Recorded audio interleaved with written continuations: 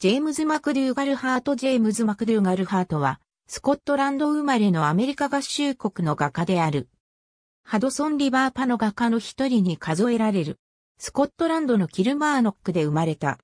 兄に画家になったウィリアム・ハートがいる。一家は1930年にスコットランドを出てアメリカ合衆国に移住した。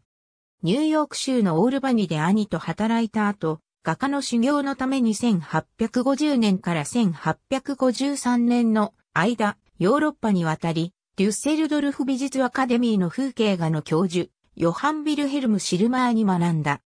19世紀の中頃に、デュッセルドルフで学んだ多くの画家たちを、デュッセルドルフ派と称する場合もあり、ハートも、その一人ともされる。1853年に帰国し、数年間ウォールバニで暮らした後、1856年からニューヨーク市で活動した。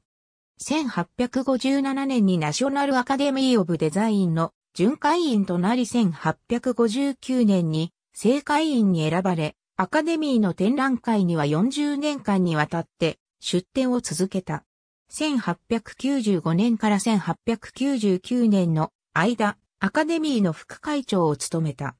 洗練された自然主義とも評される細部まで描き込まれた風景画を描いた。二人の娘、レティシアとメアリーは人物画を得意とする画家となった。ありがとうございます。